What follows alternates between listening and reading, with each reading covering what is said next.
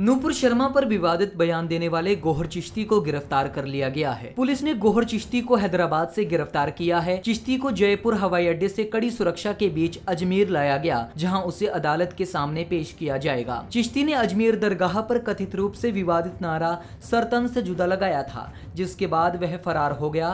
तब से पुलिस उसकी तलाश कर रही थी। गोहर चिश्ती और उनके सहयोगी मुनवर को अजमेर के किशनगंज पुलिस स्टेशन ले जाया गया और आज अदालत में पेश किया जाएगा। चिश्ती चिश्ती को गिरफ़्तार करने के बाद अजमेर पुलिस ने एक प्रेस कॉन्फ्रेंस की। प्रेस कॉन्फ्रेंस में जानकारी देते हुए अजमेर एसपी चुनाराम जाट ने कहा कि मामले की अभी जाँच चल रही है। उन्होंने कहा कि इसके बैंक खातों की जानकारी और इसके किस किस के साथ और किन घटनाओं से संबंध है, उसकी भी जानकारी जुटाई जा रही है। उन्होंने बताया की कॉल डिटेल्स की भी जानकारी ली जा रही है। गोहर चिश्ती हैदराबाद में करीब एक जुलाई से था और इसने निज़ाम गेट से भड़काऊ भाषण दिया था, जिसमें इसको गिरफ़्तार किया गया है। बता दें कि अजमेर के दरगाह दरगाह में 17 जून को एक जुलूस के दौरान असामाजिक तत्वों ने नूपुर शर्मा के खिलाफ विवादित भाषण दिया था। पुलिस ने मुकदमा दर्ज कर चार लोगों को गिरफ़्तार किया था, जिसके बाद मुख्य आरोपी गोहर चिश्ती फरार हो गया था। वहीं विवादित भाषण के बाद उदयपुर में 28 जून को नूपुर शर्मा का समर्थन करने पर कन्हैया लाल की गला काट कर हत्या कर दी गई थी। ऐसी जानकारी मिल रही है कि